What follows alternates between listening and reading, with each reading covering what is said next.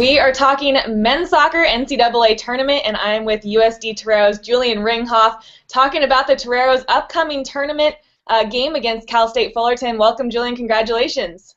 Thank you. Thank you. Yeah, we're very excited. You're a sixth year senior, and you didn't even know if you would be able to play this year at the end of last year. So, what does it mean to you to be going into this NCAA tournament and keep the season rolling? Well, yeah, it's kind of crazy how this uh, turned out. I mean, uh, the end of last season, I was uh, I was pretty much done, and uh, it was very frustrating because last year didn't go very well for us. So uh, for me, the chapter of college soccer was kind of over. And then, yeah, in spring I was informed I, I would get another season, and then obviously the way it turned out this year is, is extremely exciting, and it's, it's just nice to uh, to go out on top. So yeah, we're very excited about the, the tournament.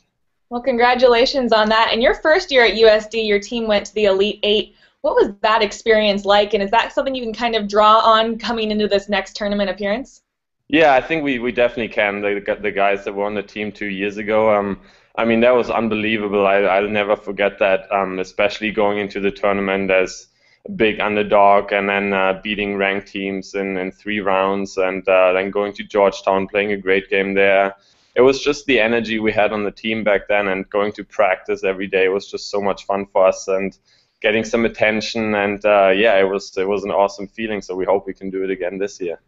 Have you older guys been kind of inspiring the younger guys with, with tales of that tournament experience just to kind of pump them up?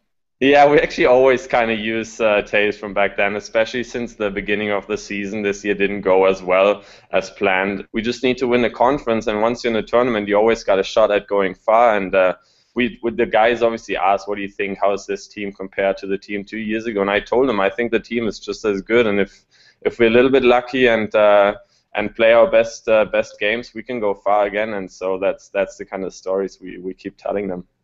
And we just found out this morning that you were named the West Coast Conference Defender of the Year. What does that mean to you, especially in your final year? I know your teammates call you Grandpa um, to kind of have that legacy to go out on.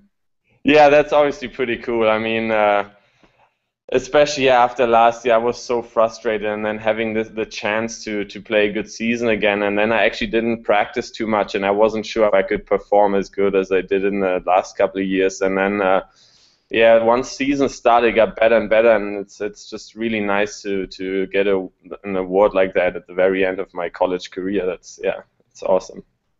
And your team had six shutouts this year, which you were a big part of, the second best uh, defense in terms of goals allowed in the WCC. How much pride do you take in your team's defense?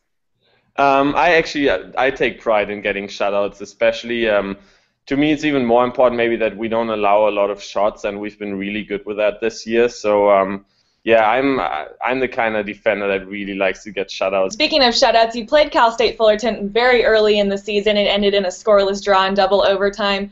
What do you know about that team? I know they're a different team at this point in the season, but can you tell us a little bit, bit about what you know about that team?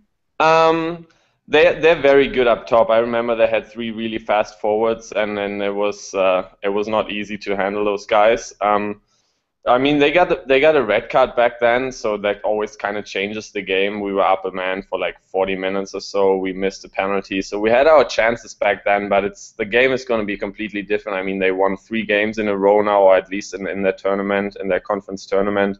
So um, yeah, it's it's going to be tough. Like at this point, I mean, us two years ago was the same thing. No one expected anything from us, and so it's kind of similar for them now. They barely made into the tournament, and uh, they're gonna be they're gonna be on fire when they come to to Torero Stadium. So we have to yeah we have to be ready.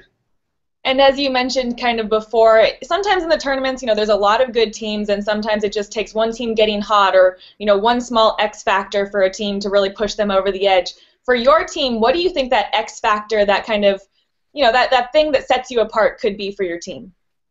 I just think playing a good first game makes a huge difference. I mean, we know like if if if we win the first round, we're going to go to UCLA, and it's going to be really tough. But we also know that if we play well, we can beat them. So I think just getting this the, the momentum going in the tournament, um, maybe yeah, win a tight game and take that momentum into the second round, and then anything is possible. I just think performing very well in the first game is is, is going to help us a lot to to maybe go further into the tournament. And final question for you. You had a lot of players, teammates showing up on those WCC All Conference Awards lists today, including yourself. And after a rough season last year to come out, win the conference, and head into the NCAA tournament, how proud are you of this team? Yeah, I'm I'm extremely proud. I mean, as I said, last year was so frustrating, not just for me, but for the entire team, for the freshmen that came in, for the older guys. And so this year, I mean, we went from winning the conference two years ago to getting last in conference to winning the conference, which is crazy. And it's I'm just I'm just proud of the guys how we bounced back, especially since the beginning of this season didn't go too well. But then getting into conference and getting those six win straights, which is very tough to do in our conference. Yeah, I'm I'm very proud about actually great for the guys to get those awards. Um, yeah, it's awesome for us as a team. All right, Julian. Well, thank you so much for joining me today, and congratulations on winning the conference, and uh, good luck in the tournament. Yeah, thank you very much.